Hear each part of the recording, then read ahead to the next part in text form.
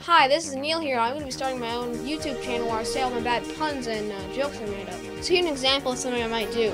What would you call a firearm that shoots wordplay? Does not compute. A pun gun. you get it? Pun gun. ha, ha, ha. Does not compute. Or maybe something like this. What would you call a light bulb that's filled with pills? what would you call that? An Edison bottle. you get it? Because Thomas Edison made the light bulb. Hey, stop stealing my bit. I'm the clown here. And that's a basic idea of what you might see on my YouTube videos.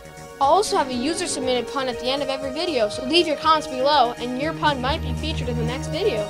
Now here's one last pun before you go. What would you call an action verb that's not happy? I don't know. What would you call that? A sad verb. Get it? Like an like an adverb? hey, stop mocking me. Bye, folks.